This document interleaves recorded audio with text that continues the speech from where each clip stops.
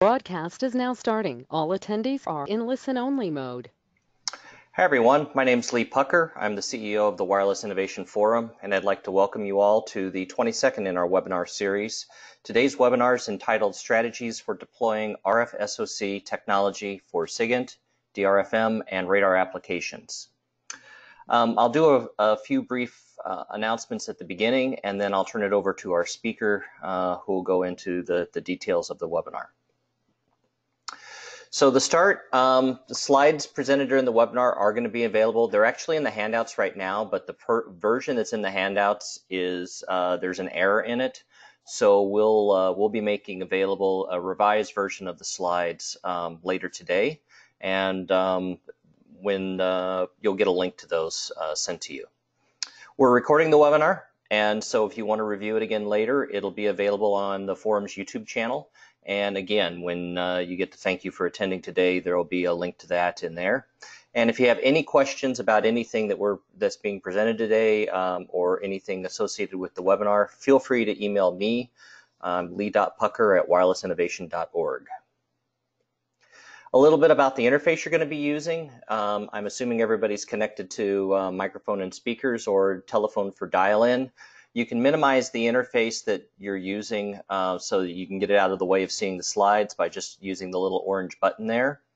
Uh, we'll do questions at the end. And so if you have questions, type them as you go throughout into the question screen. And then at the end of the end of the session, then I will answer the question. Uh, I will ask the questions to um, our speaker, and he can uh, answer them live during the webinar. And finally, with that, I'd like to turn it over to today's speaker. Uh, our speaker today is Rodger Hosking. He's the Vice President and co-founder of Pentek. A little bit of an introduction. Oh, my notes went away. Um, Rodger, I'll ask you to introduce yourself then. Um, so I'll turn it over to Rodger. Thank you. Okay, thanks, Lee, for the introduction. And I'm going to um, light off my presentation now. So let me just make sure that works. Okay. Uh, yes. Uh, so we've been doing, um, this is our 32nd year in business, and we've been doing this kind of technology that is coupling um, high frequency signals, typically uh, radio signals, to uh, FPGA or DSP functions for doing uh, digital signal processing, otherwise known as software radio or software defined radio, for a long, long time. And um, I'm, I'm, one of the founders of Pentek and have been with the company since the beginning and have seen a, a whole range of different technologies being applied to this basic uh, area of the market.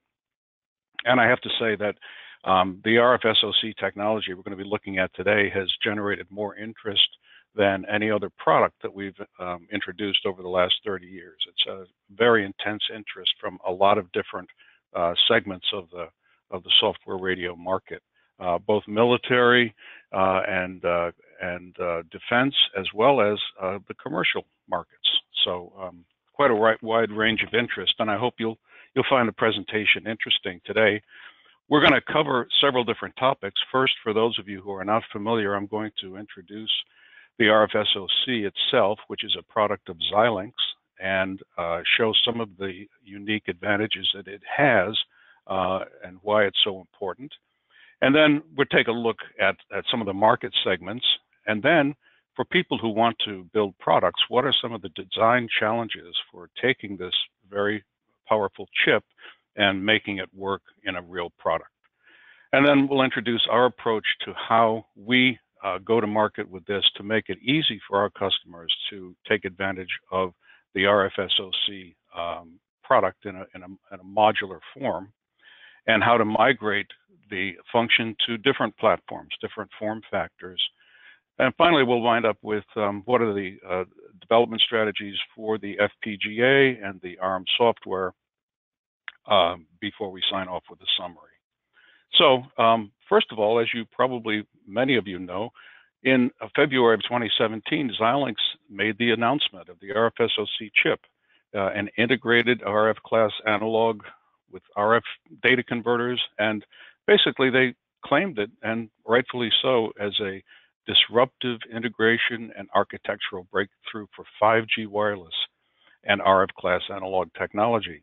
So that was the announcement. And um, what's inside the RFSoC chip itself is um, is a, a, lot of different resources. It's an amazing collection. So first of all, it starts off with the 16 nanometer Kintex UltraScale Plus um, technology for the logic cells, the DSP engines, the block RAM, and so forth.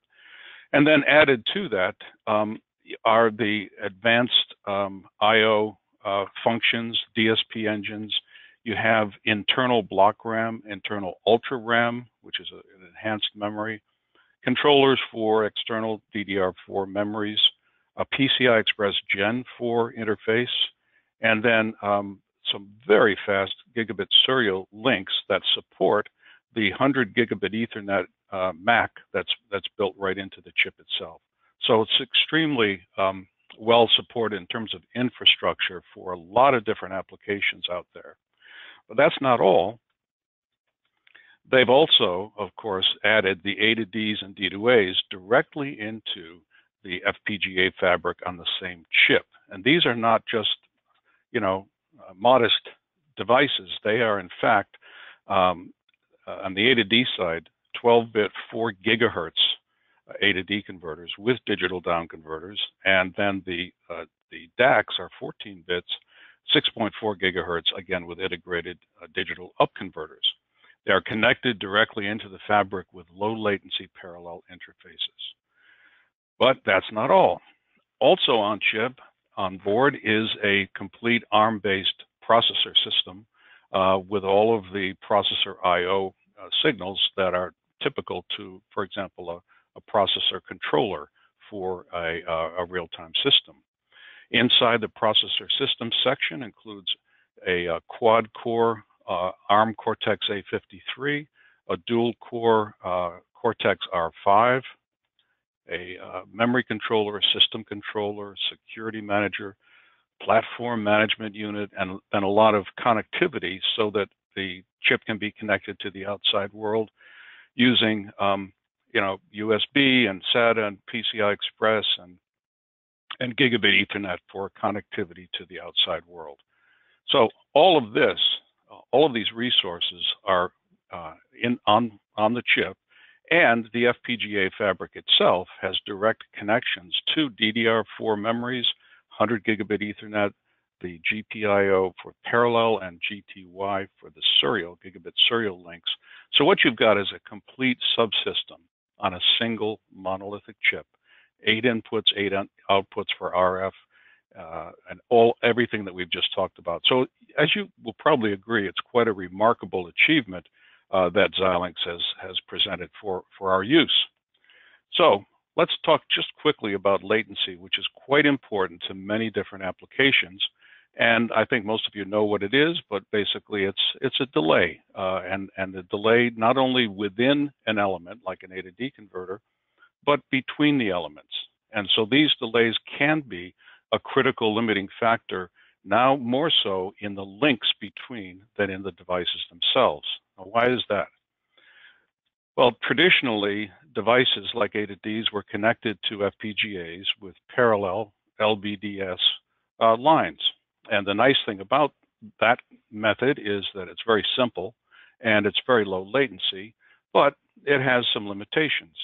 It's limited in speed and it also causes many lines to be required on the PCB, especially as the A to D converters uh, get faster and faster and get into the gigabit range.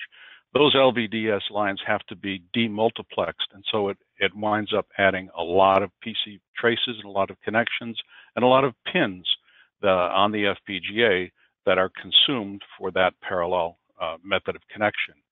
So to solve those uh, those limitations, uh, a new serial standard, not not that new, it's been out for, for many years, is the JESD 204B. And here, what we're doing is converting the parallel connection into a very high-speed serial gigabit connection, uh, often called JESD or JESD 204B. The advantages are that, that this the JESD can handle high-speed A to Ds, and it requires fewer lines to route on the PCB and fewer pin connections to the devices. The problems are, though, that it does introduce latency. That serialization requires a protocol, and it also requires um, a engine on both the transmit and the receive side to implement. So it's a much more complex interface. Once it's working, uh, it works fine, but often it takes uh, quite a bit of work to get it going.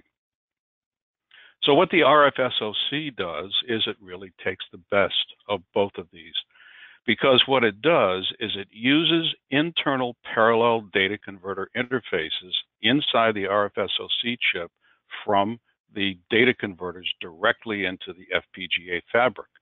So what you get is the benefit of the simple and low latency of the parallel connection, but you also get the, the ability to handle high speed A to Ds. And of course, because everything's internal to the RFSoC chip, there are no lines on the PCB uh, to connect them. So it makes it quite simple. So in fact, the RFSoC eliminates all the cons of both the parallel and the serial connection. It kind of gives you the best of both worlds, and uh, it, it's it's quite a nice achievement. So you might ask, well, who cares about latency? And some applications are just not affected by latency at all. For example, if you're doing a recording, you don't really care if there's a little extra latency uh, in the connections. Once the the file's recorded, it's it's done and, and saved on the on the drive. But there are a lot of applications, for example, uh, most notably countermeasures, where let's say you, you're building a radar jammer which has to receive a signal and then do something to it and send back another signal that that tries to defeat uh, a radar system from detecting your plane, for example. So this, in this case, the latency is very important. The good news is that regardless of whether or not latency is, is important to your application, the RFSoC covers all applications for all latency requirements. So let's take a look now at some of the market opportunities that have been identified uh, by Xilinx uh, for the RFSoC chip. Um, multifunction phased array radar. Um, this is also, you know, for commercial weather and, and commercial radar networks, but of course, also a lot of different military and defense um, applications uh, are very interested in, in the radar. EW and countermeasures, again, that's a very key uh, part of the low latency uh, advantage that RFSoC brings to the table. Communications, so you have a lot of channels and you need a lot of, uh, say, high density. So for SATCOM, for military and airborne radios, for monitoring, interception analysis, and SIGINT, and then 5G wireless, where you, you do need the massive MIMO uh, structures. Uh, you need to be able to receive and transmit, and of course with A, A to Ds and D to As uh, on a single chip that can uh, greatly simplify some of the hardware involved in uh, in the 5G wireless. So how does RFSoC really change the market? Well, first of all, it's quite efficient in terms of space. If you take the components that are within the RFSoC chip itself and compare the discrete implementation of those functions, you'll see that it takes about 50% less uh, size and footprint compared with those discrete devices. It also drops your power by about 30 to 40 percent because a lot of the power in the interconnections that otherwise would be taken with discrete devices is not required uh, because it's all on the same chip in the RFSoC. And that does lead to cost savings as well. It's just more efficient, uh, fewer parts to, to purchase and interconnect. They're all on the same monolithic device. And then finally, as we've said, latency is, is greatly reduced uh, over uh, these discrete solutions where uh, the A to Ds and D to As that are shown down there to the left are, would almost always be um, JESD because um, that's that's the most common way of implementing the gigabit, the giga, gigasample per second data converters that are on the marketplace today. What are some of the challenges in using the RFSoC? As a board level designer, you've got signal integrity issues. You've got 16 analog RF signals, uh, 8A to Ds, 8, D to A's with gigahertz bandwidths. You, you could have the possibility of picking up spurious signals. You have crosstalk uh, possibility and signal path integrity and, and matching impedance. So designing a printed circuit board that that that keeps all of those signals very clean, even though they're right in the midst of a very heavy digital circuitry, uh, is is a tough thing to do. And then the signal path integrity for the high-speed gigabit serial links that are at 28 gigabits um, to support the 100 gigabit Ethernet um, connections. These require extremely careful printed circuit board layout uh, maintaining uh, in, impedance and going through uh, uh, paths like connectors and so forth that can often uh, uh, compromise some of your performance.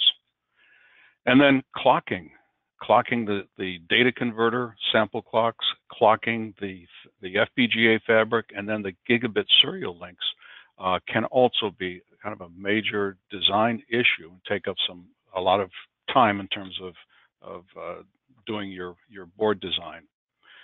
And interestingly, um, the RFSoC chip requires 13 different power supplies, and some of them have to be extremely clean. The analog supplies have to be extremely clean in order to maintain the signal fidelity and dynamic range of the uh, RF signals in and out.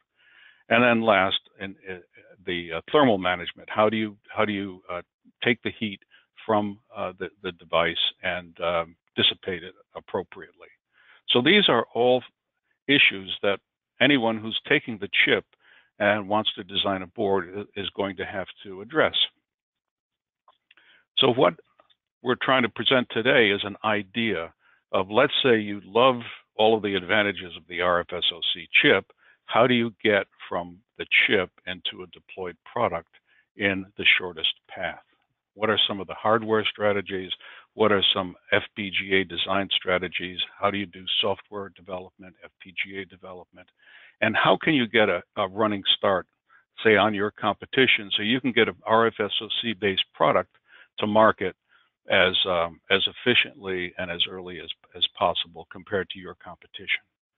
So we have some strategies, and we're going to introduce the, the big strategy, which is the RFSoC module concept, which we call Quartz XM. Now, this is um, kind of inspired by traditional modular mezzanine designs that we've been working with for years and years, where you have a main board and then you have a module that attaches to it, like our Jade, uh, Onyx, and Cobalt XMC modules have small uh, daughter cards that have um, A to Ds and D to A's. And FMC is another standard that um, uses the uh, FMC module to contain A to Ds and D to A's. So the, the practice of using mezzanine cards is has been in the industry for uh, many, many decades. It's not new. So inspired by that concept, we said, let's make a small module, a small mezzanine module that contains all of the infrastructure required for the RFSoC chip itself but is an extremely small form factor that allows you to take advantage of those features of the chip without having to worry about all of the very difficult design challenges in making a board. So this chip is four inches by two and a half inches. Uh, it's not a chip, it's a module, and it is uh, an extremely efficient in terms of space and uh, laid out uh, very responsibly. But what what really goes into this It the, idea is to simplify your uh, design effort to get RFSoC technology into your product. We have connectors that preserve all of the RF signals and the gigabit serial signals uh, as well. One 12 volt input to this module generates all 13 RFSoC power supplies. So it simplifies that power supply generation dramatically. It has flash and DDR4 memories to support both the FPGA fabric as well as the ARM processor that's on board. It maintains all of the constraints and design rules for the printed circuit board for bypassing, filtering, size, uh, line spacing, and so forth. It includes clock management, uh, health monitoring facilities, and it really is a great way for you to get um, the RFSoC into a very small custom space that um, you know would be difficult for you to do uh, without the module. Some of the technical details of the the uh, Quartz XM, as as we call it, uh, XM stands for Express Module, and Quartz is a kind of our trade name for the uh, product line based on RFSoC. Uh, you can see the uh, some of the technical details. Um, it's quite a quite a complex 28-layer board with some really advanced fabrication techniques to achieve everything that we needed to make make the chip run uh, at its optimum. So if we take a look inside, what's inside the the Quartz XM Express module, it really uh, we've talked about it. We're going to just highlight the the pieces of it here. Uh, there's a power management, there's clock management, there's two banks of DDR4 SDRAM, one for the FPGA and one for the processor. There's flash memory, and then the, there are connectors, uh, and the ones we're highlighting right now are the RFSoC connectors, which uh, use a very, very uh, good um, RFSoC uh, multi-pin connector made by um, by Samtec. And we also use uh, very high-speed digital connectors for the clocking, as well as for the other I/O, including the serial uh, connections that that go in and out of the board. So it's really a, um, a, a quite a, a, very carefully designed combination of different features that give you this complete solution all in a very compact uh, module. So how do you do development for Quartz XM, the module? Well, one of the first and most popular platforms in the embedded space uh, is VPX. And VPX um, would be a great first platform for taking the Quartz XM into a deployed standard open architecture backplane uh, uh, standard like VPX. So uh, VP, VPX also has a lot of standards that are very appropriate for the RFSoC. For example, it has a very well-defined optical backplane standard called VITA 66 that gives you the ability on a 3U VPX module to bring the optical gigabit serial connections out to the backplane and between boards or to another system. We also have uh, connections uh, on the backplane for uh, RF signals with signal bandwidths up to 40 gigahertz using the VITA 67, which is a coaxial RF backplane I/O standard. And then VITA 65 and VITA 65.1 uh, uh, are the open VPX standard. That's really the, the most popular standard that's now being used for, for deployed mil-aero systems. Uh, there's new there's profiles that support all of these new uh, extensions. Uh, there's support for uh, synchronization, radio backplane clocks, reference clocks, and um, it's a really great environment to uh, deploy these um, high performance um, digital signal processing products for the embedded market. So what we did, we created a carrier for the Quartz XM in a 3U VPX form factor. This is called a 5950. So here is the 3U VPX board. We install a RFSoC Quartz XM module on it. And now it's an open architecture board compliant with uh, OpenVPX. It has all of the backplane connections according to the VPX standard. It takes advantage of the VITA 66.4 optical serial backplane for the um, 100 gigabit Ethernet links that we provide. It has uh, front panel connections for the uh, RF in, out, and clock. And it gives you a, a very complete 3U VPX modules, complete functional subsystem with uh, everything then compatible with the open architecture uh, standard 3U VPX or Open VPX. Inside, you can see the um, carrier here is outlined in blue. And this is a picture of it in the upper right. This is the, the 3U VPX board. And central, uh, outlined in red, shown in both views, is the uh, Quartz XM module, which then is connected up according to the, the lines that you see here to the appropriate interfaces on the 3U VPX carrier. We also have a rear transition module, which is part of VPX that allows you to bring system I/O from the ARM processor to the backplane, the back of the chassis, for connections to things like uh, gigabit Ethernet, uh, USB, DisplayPort, and so forth. And this is a very convenient way for you to get those connections out to the rear panel. We have both air and conduction cooled versions of the 3U VPX uh, product. And for development, uh, we've uh, arranged with um, a partner to provide a single slot 3U VPX development chassis that allows you to put that 5950 3U VPX quartz uh, board uh, into that slot, and it gives you all of the cooling, power, um, uh, power supply, and so forth, the backplane that you need to support it.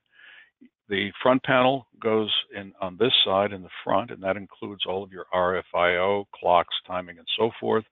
And then the rear panel uh, transition, the rear transition module is on the rear panel, and you can see that supports the ARM processor I/O. And then there's a MTP optical connector that supports the dual 100 gigabit Ethernet. So this gives a very nice, um, ready to run development chassis for doing RFSoC development. So if we take a look at that RF, um, I'm sorry, take a look at the um, rear transition module. This is a blow up of it. And for you to do development or connect to other parts of, of the system, what you can do is connect up in different ways. You can connect up over RS-232, you can connect up over JTAG, you can connect up over gigabit Ethernet. All of these scenarios are valid development connections that support the tools that are uh, provided uh, by Xilinx and uh, by Pentek, uh, the Vivado tools and the Navigator tools from Pentek, which we'll talk about a little bit later. But it's it, it's a very very convenient, ready to use, ready to start development uh, strategy for for the RFSoC itself.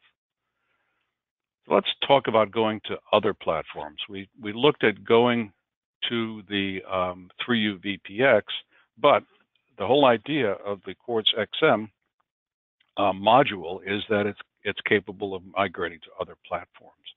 So, for example, um, there is a, um, a, collection of people who would uh, like to use backplane for the RFIO using that VITA 67 standard that we talked about. So instead of coming out through the front panel, what you can do is build a different carrier, a different 3U VPX carrier that brings those uh, analog RF signals instead out to the backplane using the VITA 67. You keep the same Quartz XM module, but just have a different uh, mechanical arrangement on, on the carrier board itself. The nice thing about having all of the RFIO on the backplane is that it really reduces um, uh, system integration by getting those cables off uh, the front and um, saves also in uh, in any um, reliability issues that are associated with the cables on the front. So this is one uh, alternate platform for the Quartz XM. Another is a PCI Express carrier. This allows you to take the Quartz um, XM module and plug it right into a PC for a low-cost development platform. This is on our roadmap, will be coming out in the next few months. This is great for doing your software or FPGA development because it's a low-cost platform. And it's also good for continuation engineering and support in case you're deploying a 3U VPX version. You can do a lot of the, the uh, development and, and continuing continuation engineering on a low-cost PC. And this also is extremely suitable for uh, benign environments for your deployed system. So if you don't have a, you know, a military, you know, hazardous, difficult environment that you need to go, but you can tolerate a laboratory environment, this would be great uh, to save money and to, to have a low-cost platform with the same technology on a PC. But you can also go to other platforms. Um, this is the uh, a path, if you want, of how that could be done. You could start with the standard 3U VPX module, or you could start with the PCI Express, but just to start with our, one of our standard products, and then develop all the software and IP for your custom form factor application. Then you build a carrier for the Quartz XM module using our uh, Quartz carrier design package. Now, that includes uh, the pin definition of the module, the design rules, layout guidance. Uh, we will review your design. You attach the Quartz XM module, and now you've got the uh, RFSoC in a completely uh, different, unique environment. Perhaps this is a nose cone of some kind of a small aircraft or a, a UAV. But you keep your uh, the standard product as a development platform for doing the uh, other additional development work or your next project. Other uh, custom S, uh, RFSoC solutions could include multiple RFSoC Quartz XM modules on a single uh, backplane. And this is uh, extremely attractive to a lot of customers who have a uh, an array of antenna, antenna elements uh, that are located, uh, let's say, up on, on a mast aircraft. And uh, the RFSoC modules, the Quartz XM modules, can then have a very short direct path between the antenna elements and the RFSoC chip itself, which then uh, with a little RF circuitry in between, can deliver digitized versions and and and in both for both receive and transmit functions to the elements of the uh, of the array, of the antenna array. So this is an extremely attractive solution for a lot of uh, for a lot of customers. Again, this is this would be a custom design board using the um, the uh, carrier design guide that we provide as a as a kind of a cookbook for for uh, for meeting all the rules to make sure you're successful in uh, developing your custom board. Another idea would be to um, uh, have a small form factor remote box. This is another product that's on our roadmap.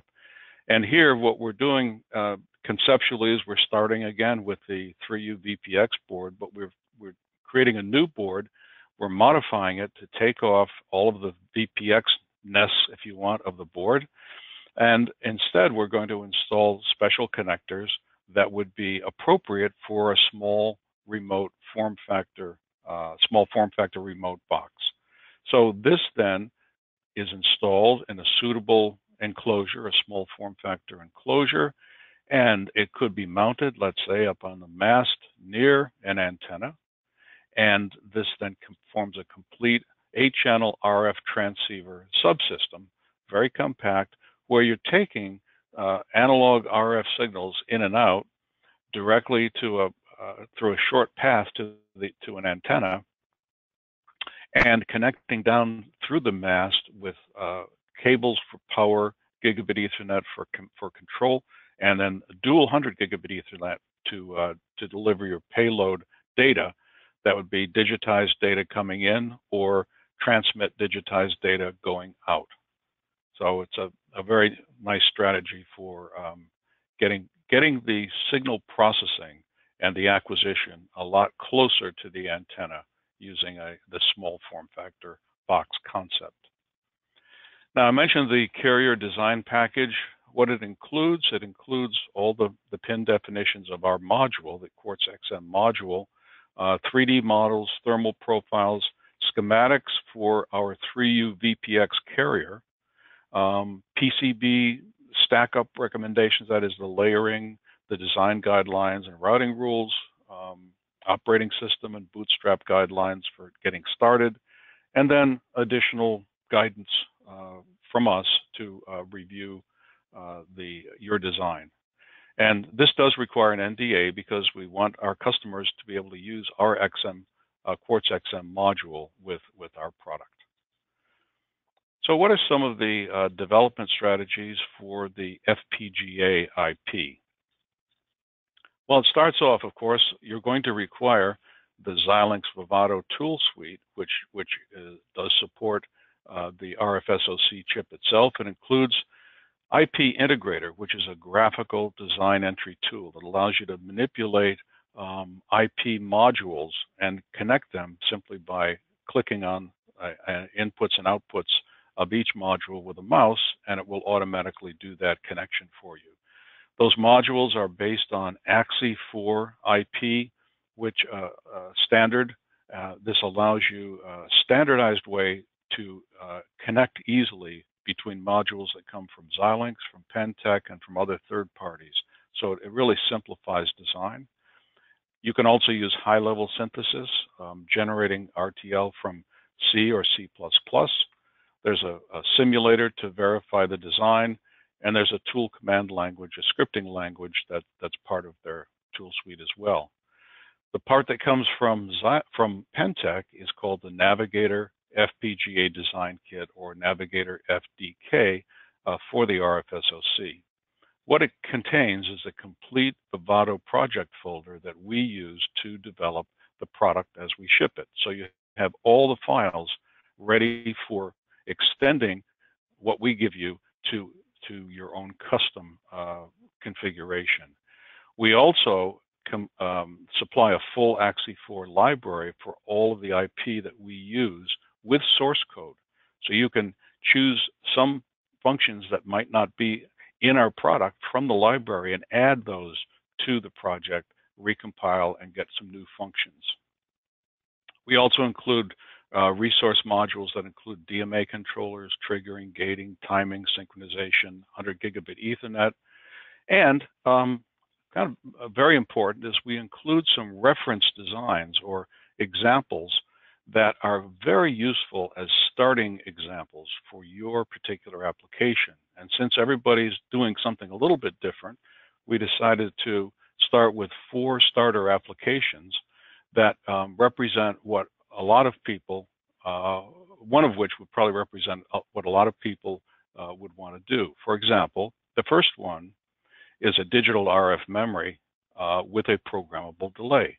Now this this would be um, a great start for someone who's doing electronic uh, countermeasures, for example, where instead of just implementing a delay, you could implement some other signal processing function that could be uh, uh, appropriate for a countermeasure application. Another starter example is just an, a streaming acquisition engine where the data from the A to D converters is streamed out through a dual 100 gigabit Ethernet you can get about 25 gigabytes per second uh, of data across those 200 gigabit Ethernet links. So while you while you probably do some data reduction in the FPGA, uh, getting 25 gigabytes per second of going out uh, or even going back in in case you want to use the D2A is an extremely high speed connection uh, that could be very valuable and faster than most backplane connections uh, currently support, at least through PCI Express.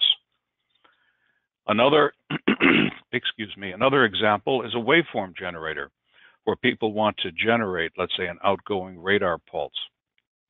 And they have a, um, uh, let's say they have a stored table that represents the waveform samples, and they, that table can come from memory, it can come from uh, PCI Express, it could come across uh, the 100 gigabit Ethernet, uh, or we could even use an onboard chirp generator. This is a uh, uh, frequency suite generator that's built right in to the example.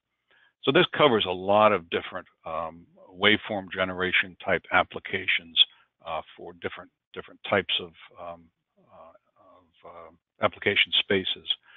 And then lastly, we have kind of a, a multi-function or multi-mode acquisition uh, to uh, delay memory or to PCI Express or to 100 gigabit Ethernet.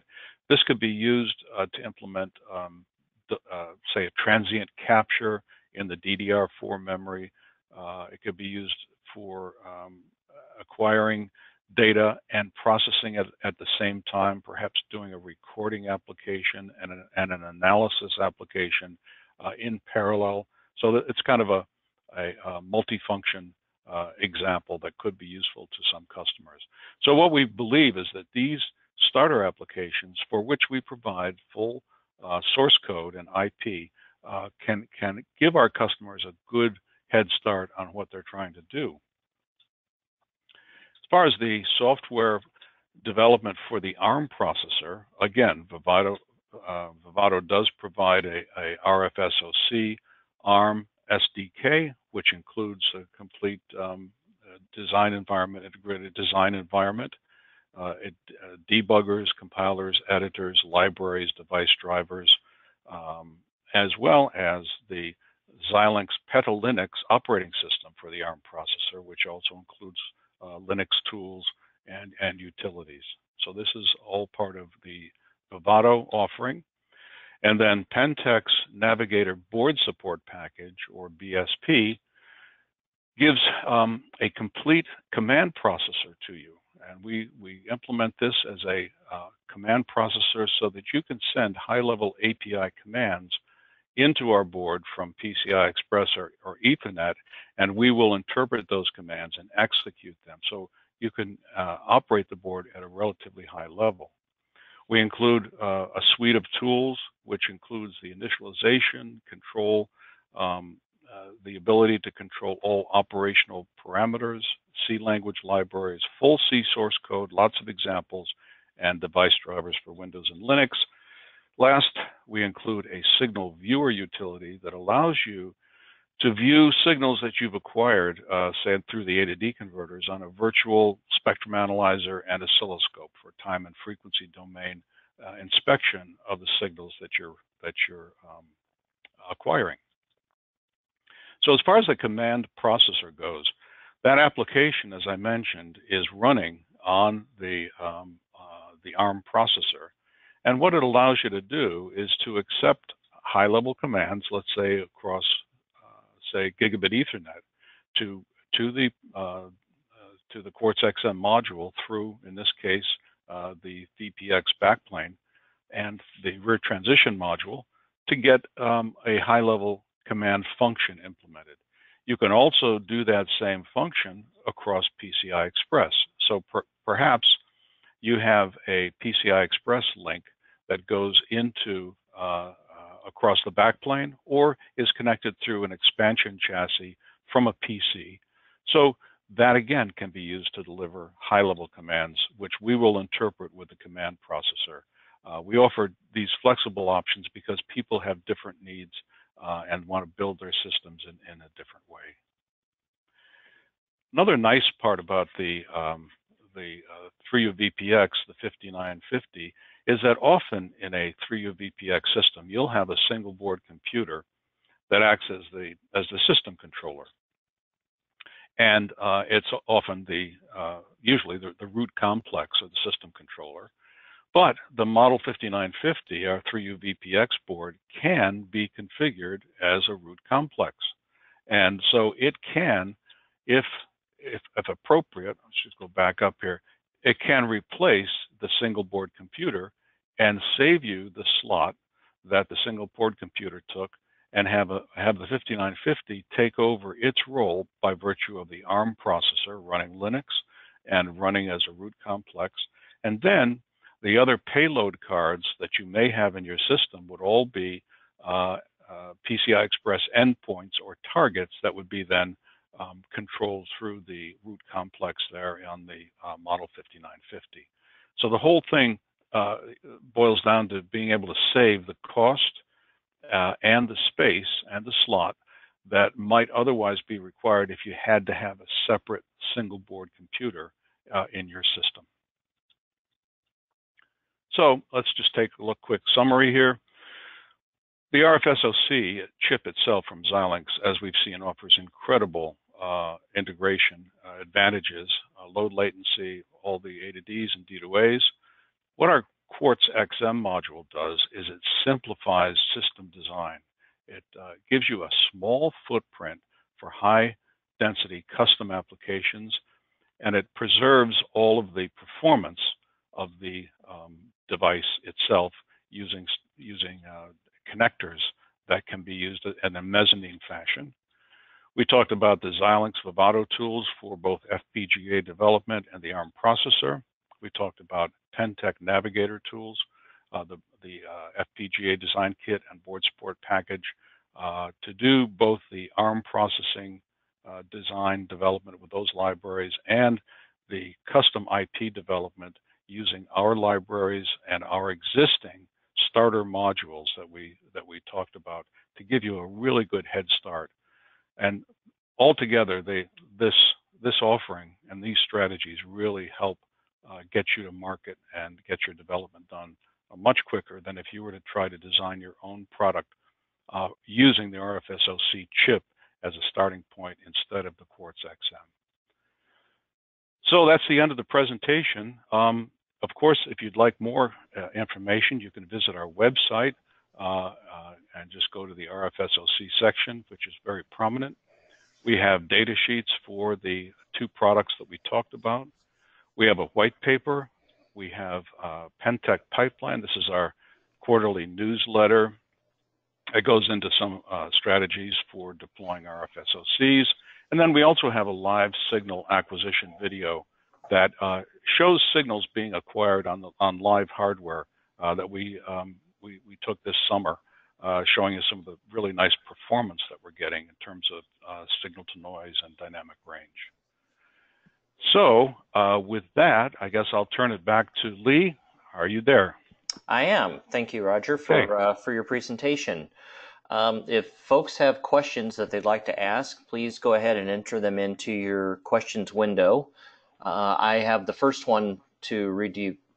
Uh, Rodger, how does licensing work for the FDK? Is it one per site?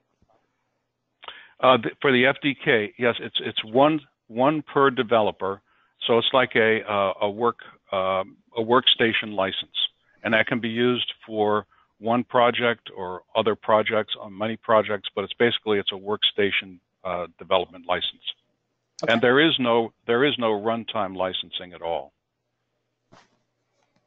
Okay. In other words, in other words, there's no per unit uh, license fee uh, associated with the products that you're developing. All right. Um, if there's other questions, please, uh, again, everybody, uh, feel free to enter them into the enter them into the window. Uh, I just got a, a comment that came in that said, "Well done. Do we get college credit for this presentation?" So, sure, sure. I'll, I'll be glad to send you a diploma. How's that? all right, there you go. I'm, I'm, I'm, thank you for the compliment. Uh, one question I had, I noticed with all those different power supplies coming in, um, Mhm. you're you're running them from a single 12 volt supply. Um, what's the Mhm. efficient? What's the efficiency on your conversion process there? We're we're up in the uh, probably 95% range.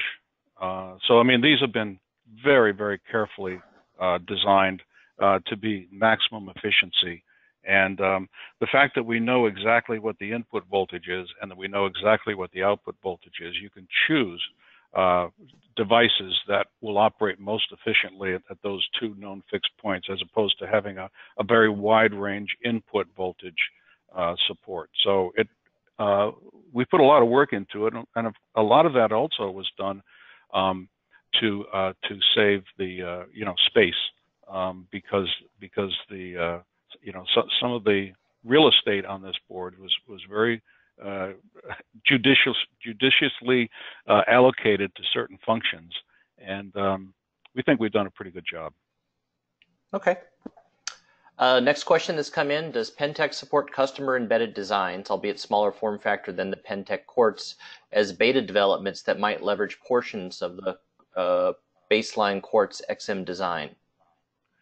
That's in, in other words, what you're saying is, could we could we sell you a development kit that included the Quartz XM and have you use that as a uh, a launch pad for doing an even smaller uh, custom design of your own? I, if, if I understand it correctly, and I guess we would certainly uh, we certainly would would want to talk to you about that.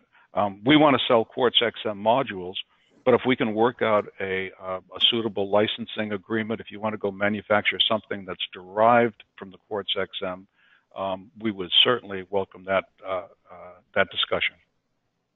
Okay. Uh, the next question that came in: What are the AXI4 functions you mentioned? How do they differ from the Xilinx IP?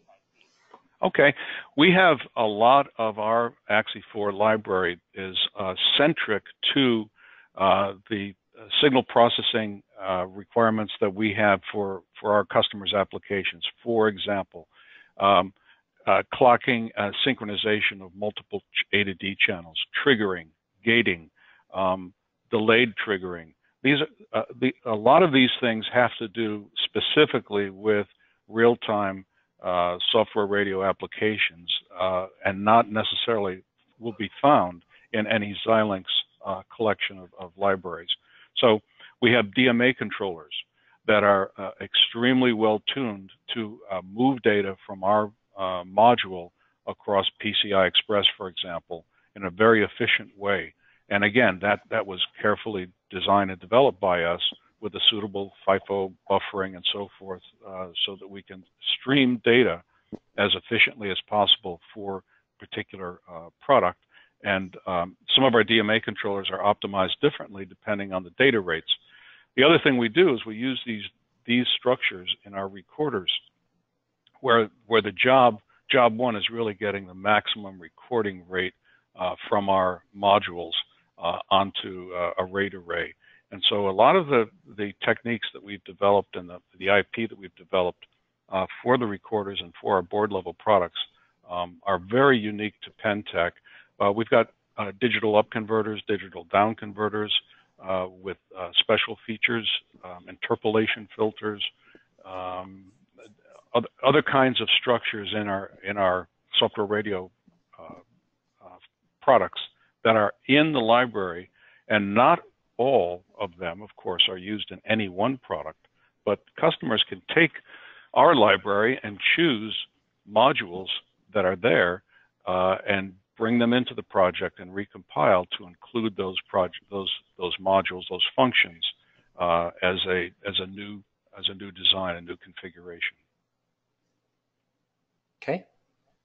Um, Rodger, I've gotten a couple of questions about pricing. I'm not going to bring those up here, but what I can do is uh, forward those to you and you can perhaps follow up uh, on the pricing questions offline. Absolutely. We welcome any any require any requests in that nature, of course. Okay. Uh, the next question is, are all analog input signals to the Quartz XM assumed to be at A to D baseband, i.e. FS over 2? They we are have characterized the A to D inputs in both the first and which is which is zero to FS over two, and in in the second Nyquist zone, and um, we are just finishing up a report showing the uh, performance of the uh, of the A to D converters in, in both the first, second, and I believe they they're even uh, doing some in the third Nyquist zone. So um, so the answer is there's um, there's they are the RFSoC is definitely useful in uh, beyond the first Nyquist zone, and we have taken some measurements to to uh, show and prove that that's so. Okay. There's a related question. What is the 1 dB passband cutoff frequency response? I believe uh, it's it's above six gigahertz but um, I'll have to check that. It's a spec I just don't happen to have in the top of my head. We use we use very wideband baluns um, uh, between the, uh, the, the RF connections on the front panel of our 3U VPX module and the uh, Quartz XM module. And the Quartz XM itself uses um, the Samtec ISO rate connectors, which are um, which are rated well above six gigahertz. Um, so uh, it depends on whether you're using the 3U VPX board or you're using the Quartz XM module itself. Um, but we've done everything to preserve um, a very well controlled impedance path, a very, very high bandwidth by using the best connectors we could find. Okay. Uh, next question. Any RX to TX latency numbers uh, in the report? that it will be in the report, and this report is just being compiled, but the, that information is in the report. Yes. Okay. Uh, next question: Are the balance? Uh, I'm guessing that word is critical to getting uh, signals through the backplane. Uh, the the signals. Okay, I understand. Yeah, in case you're using the VITA 67 backplane connections, uh, instead of having the baluns uh, uh, then going out to the front panel of our 3U VPX carrier, they would be located in a different physical position so that we would connect up with the coaxial RF um, inserts that go into the VITA 67 um, backplane housing. And those again are also rated for, I believe, at least 10 gigahertz, and some of them can go up to 40 gigahertz in terms of signal bandwidth. So it's a uh, a repositioning uh, physically of where the baluns are, but the baluns would be in the signal path between the backplane VITA 67 coaxial RF connectors and the Quartz XM module that would be on the 3U VPX carrier. Okay, thank you. Um, next question. Does Xilinx have frequency response test data for the Zynq that we can assume for the Quartz XM input response? I believe we are, if, if not completely uh, compliant with their specification, at least on the XM module. It might be a little bit less uh, going through the 3U VPX board, but again, we've tried to keep everything um, capable of meeting Xilinx's spec for the Quartz XM module. So we're not degrading uh, their performance levels in uh, in any way that, that that we know of. Okay.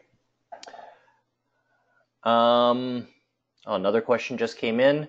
What are the maximum I/O data rate limits for the Quartz XM Vita 66X optical backplane module? Okay, uh, we did answer that. Uh, well, first of all, the the um, the, the um, optical links are rated for 28 gigabaud or gigabits per second, and that is uh, implemented in our standard product with um, two, since there uh, there will be eight uh, lanes going out. They're uh, implemented as 200 gigabit Ethernet um, links, and we have actually measured data payload throughput rates of about 12 and a half gigabytes per second for each of those 100 gigabit Ethernet links, which gives you an aggregate of 25 gigabytes per second um, payload data going across, not not raw, but actually payload data. So uh, that is that's where we are, and that's what we've measured. That's what's working, and uh, it's it's really working extremely well with extremely uh, nice eye patterns um, all the way through to the uh, 3U VPX backplane optical VITA 66.4. Okay, um, that's the last question that we have. So with that, uh, why don't we go ahead and wrap things up? Uh, thanks okay. again, Rodger, for the presentation. Um, I, I know everybody who was attending uh, really appreciated it. Uh, again, for uh, those on the line, we will upload the uh, slides associated with this to the Wireless Innovation Forum's website. Uh, the webinar page, you'll be able to get them from there, and we'll also be uploading the recorded version of the webinar to our YouTube channel, so you'll be able to listen in again. Uh, thanks for everyone for attending. Uh, thanks again, Rodger, to you. And um, I will uh, see you all or talk to you all again at the next webinar that we hold. Thanks, Lee, and, and thanks for all of you who, who listened today.